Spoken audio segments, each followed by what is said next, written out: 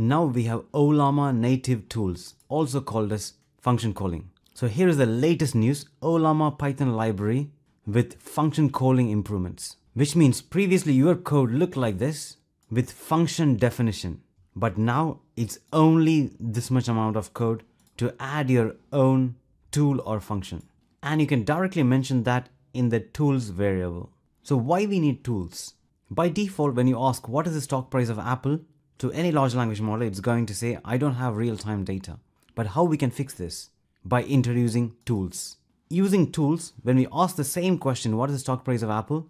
It's going to use function calling or tool call and then initiate the get stock price function with the symbol Apple and the tool will receive the symbol Apple and returns the stock price of Apple. Then the large language model AI will respond the stock price of Apple is 235 USD. This is exactly what we're going to do now. By the end of this video, you will learn how you can create a custom tool. It could be your own private tool and integrate that with Ollama, how to use async, and finally how to use existing functions. You don't want to miss the last existing functions, which is one of the advanced thing which I think will make things much more easier. Even if you're an absolute beginner, you should be able to follow step by step and I will provide all the code in the description below. But before that, I regularly create videos in regards to artificial intelligence on my YouTube channel, so do subscribe and click the bell icon to stay tuned. Make sure you click the like button so this video can be helpful for many others like you. So first step, creating a custom tool. So in our terminal, pip install ollama and Yahoo Finance. Ollama is the main package and Yahoo Finance is for getting the stock price. And then click enter. Now the main package has got installed. Go to ollama.com and make sure you download Ollama based on your operating system. Next, in your terminal, Ollama pull llama 3.2 and then click enter. This will download this large language model or the AI. Next, let's create a file called app.py and let's open it. So inside the file, first import ollama, next Yahoo Finance, next dict any and callable. Now we are creating a function called get stock price and calling Yahoo Finance with the symbol that is AAPL will pass here. Then we are just returning the regular market price or the last price. That's it. Just this one small function. You can even replace this with your own function, own tool, own application. Step number two, how you can integrate this with Ollama. So now we are going to ask a question that is what is the current stock price of Apple and providing the available functions that is get stock price. Get stock price is the only function we are going to use. That is the tool call. Next, ollama.chat and then providing the model name llama 3.2 role user and the content is the prompt. So the prompt is the question which we are going to ask. So you can replace this with any question you like. And here is the tool call.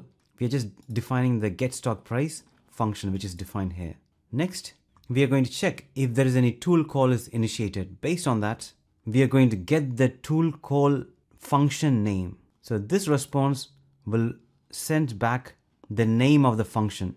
So we are getting the name of the function, the value of the argument. So this is going to be AAPL.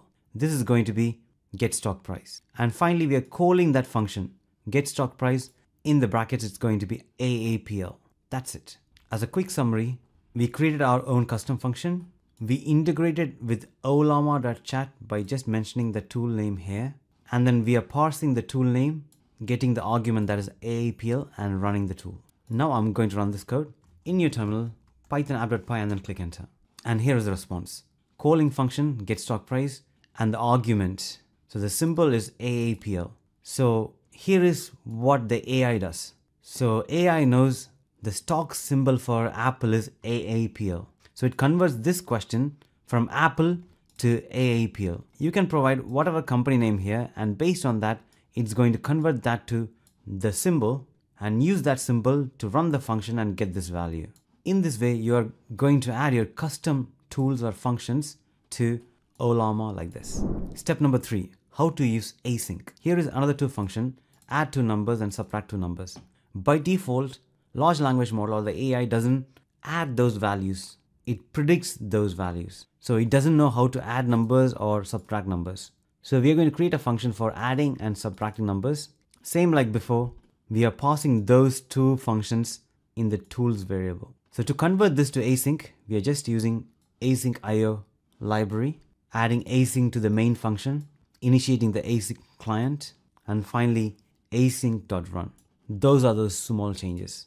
And the question which we are going to ask is, what is 3 plus 1? Now I'm going to run this code, Python async tools. And what is 3 plus 1? That is the question. And it's calling the function called add two numbers.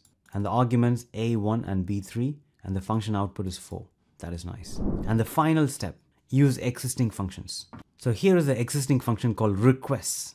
So Python by default has many different functions and you can even install many different functions from Python packages. So you can use directly those function in tools. So request.request .request is a function and we can define directly here. This is one of the easiest way to add tools.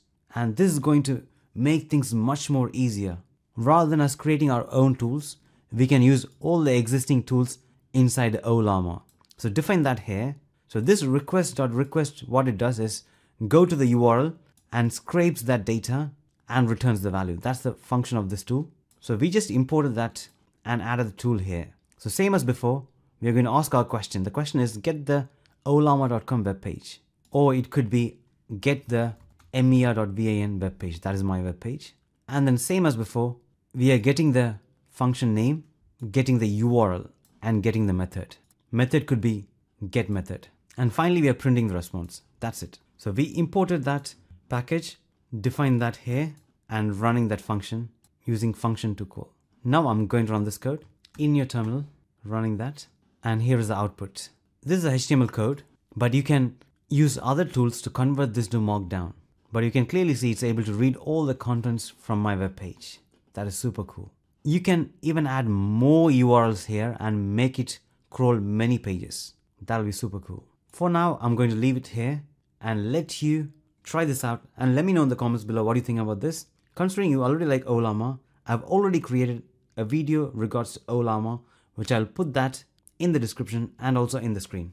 And I highly recommend for you to watch that. So do click that and I will see you there.